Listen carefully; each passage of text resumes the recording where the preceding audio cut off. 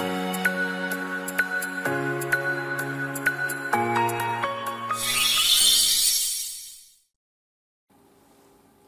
い、こんにちは、レッドスノームです。今回なんですけども、近藤民法179条について解説いたします。ちょっとややこしい部分なんで、しっかり聞いていただければと思うんですけれども、まず第1項ですね。所有権と他の物件が同一人に帰属した場合、原則として他の物件は消滅しますよ。っていうところが、まず第1項の本文の内容です。この同一人に帰属するっていうのは、まあ、同じ人が所有権と他の物件、まあ、この2つの権利を持ちますよと、まあ、いったイメージです。ちょっと具体例を見てみます。まあ、所有権は大丈夫ですよね。で、この他の物件っていうのは、例えば地上権とか抵当権です。で、今回の事例で言うと、地上権を一つ具体例として解説に入れております。で、まず所有権を持っているのは B さんです。土地の所有権者は B さんで、で、その土地の地上権者が A さんだと仮定します。つまり、まあ、A さんがこの土地の上に建物を建てたりして、この土地を使う権利があるというイメージですね。で、まあ、この状況で A さんが B さんから所有権を買い取りました。つまり、B さんは所有権を A さんに売った。まあ、土地を売ったっていうイメージですね。で、この場合、地上権者は A さんそのまんまで、所有者が A さんに変わりますよね。B さんから土地を買い受けているわけだから、A さんが買い受けているわけなんで、所有権者、土地の所有権者は A さんになります。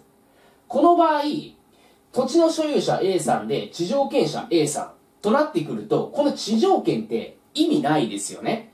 地上権っていうのはあくまでも土地を利用する権利ですよね。で、所有権も別に地上権なかったとしても土地を利用する権利があるわけだから、所有者と地上権者が一緒であれば、この地上権なくても別にいいわけですよ。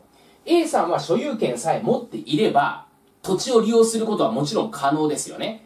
つまり、この地上権ってもう意味をなさないから、地上権は消滅しますよ。これが原則の内容です。で、例外があって、第三者の権利の目的となっている場合は、この場合、他の物件は消滅しませんよっていう内容となっています。まあ、これは正し書きの部分です。これどういうことかというと、この地上権に抵当権が設定されていた場合です。A さんは他の人からお金借りてましたと。で、A さんはそのお金を、えー、貸してくれた人のために、この地上権に抵当権を設定していたといった場合です。その場合、これ混同によって地上権消滅しちゃったら、抵当権も消滅しちゃうわけですよ。そうすると、これお金貸した人困りますよね。だから、この場合っていうのは、地上権は消滅させずに残しておきましょう。これは、お金を貸した抵当権者を保護する目的で、こういったルールがある。他の物件、今で言うと地上権は消滅させないというルールがあります。まずこれが一つ目ですね。第1項の内容です。で、第2項の内容。所有権以外の物件と、これを目的とする他の権利が、同一人に帰属する。この場合、原則として他の権利は消滅しますよ。っていう内容です。これが2項の本文の内容です。これ、例えばなんですけども、地上権者 A さんがいました。まあ、これ、所有者は別にいると仮定してですよ。所有者は別にいると仮定して、地上権者 A さんがお金を B さんから借りましたと。B さんからお金を借りたので、A さんは B さんのために抵当権を設定しました。まあ、これ地上権に抵当権者を B として抵当権を設定したという図です。つまり地上権者は A で、抵当権者は B。まあ、お金を貸した人が B、お金を借りた人が A といった状況です。で、この状況で、抵当権者が地上権者から、この地上権を購入した。まあ、A さんから見たら地上権を B さんに売却した。この場合を考えると、地上権者は B さん、抵当権者は B さんになるわけですね。この場合もこれ抵当権あっても意味がないわけですよ。地上権者と抵当権者は、まあ、同じ人になっているわけだから、まあ、B さんは自分のこの地上権をえー、競売にかける。自分の物件を競売にかけるってちょっとおかしな感じになりますよね。まあ、なので、この場合は抵当権は消滅させますよと。まあ、いった内容です。で、今回この所有権以外の物件が地上権となっていて、この地上権を目的とする他の権利っていうのは、これ抵当権です。で、この場合、抵当権、他の権利、これですね。抵当権は消滅するよ。これが2項の本文、原則の内容です。で、正し書き、例外があって、例外は、これも同じように、第三者の権利の目的となっている場合は、他の権利は消滅しませんよ。っていう内容なんですけども、これ例えば、C さんが、まあ、別の C さんがいて、C さんが2番抵当権を設定していたと仮定します。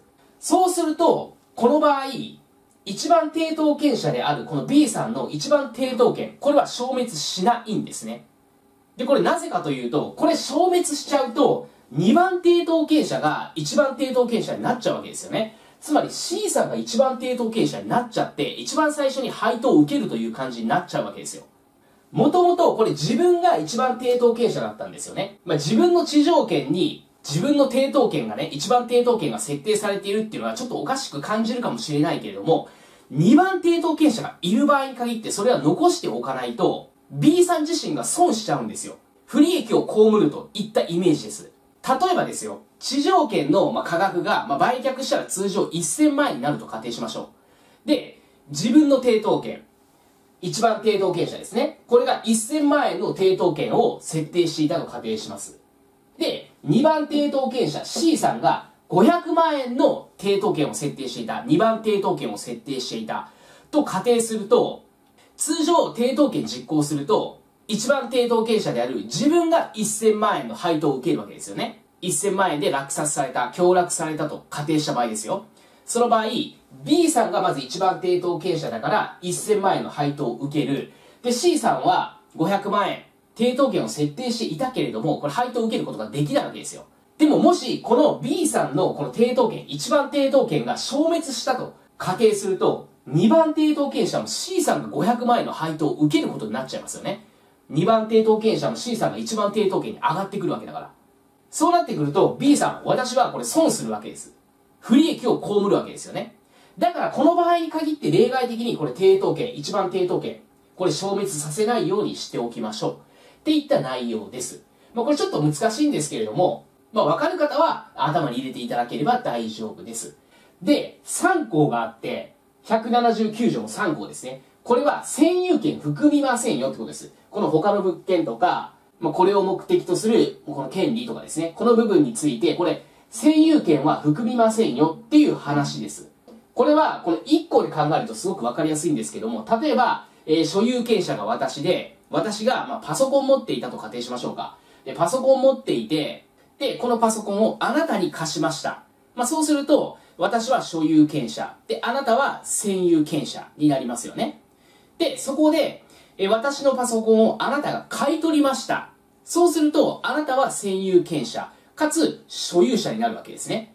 で、この場合っていうのは、この他の物件に占有権含みませんので、占有権は消滅しないんですね。つまり、あなたは所有権者であり、占有権者でもあると、まあ、いうことです。この占有権っていうのは物件なんですけれども、ちょっと特殊なんですよね。